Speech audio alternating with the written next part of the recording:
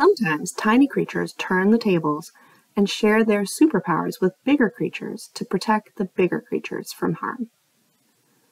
Acacia trees grow on the plains in Kenya, Africa. Elephants roam there too, and they like to eat acacia trees. The acacia trees grow big thorns to try to protect themselves, but they're not always enough to fend off a hungry elephant. To defend itself against elephants' tearing trunks, the whistling thorn acacia has made some tiny but powerful friends ants. This acacia tree grows thorns with a special shape.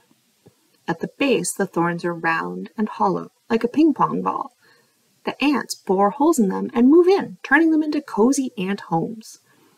The ants also get drops of sweet nectar that the tree makes especially for them. In return for these cozy homes and delicious food, the ants defend the tree. When an elephant wraps its trunk around a branch ready to tear it off, the ants attack, crawling up the inside of the elephant's nose and biting it.